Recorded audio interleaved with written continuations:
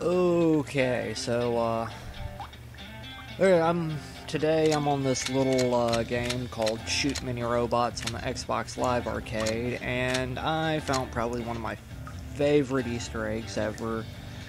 Uh, after completing level 12, not 12, after reaching level 12 and beating the oil fields, I earned, uh, well, the Fruit Fucker 2000, which is a small but awesome Easter egg and ode to Penny Arcade. If you don't know who Penny Arcade is, it's a webcomic series. I do believe they stopped producing them, but uh, just Google them. You'll find out a lot about them and about our dear little friend Fruit Fucker here, who fucks fruits and your skull. Yes, you are seeing that. He quite literally fucks your skull while you play. Brilliant.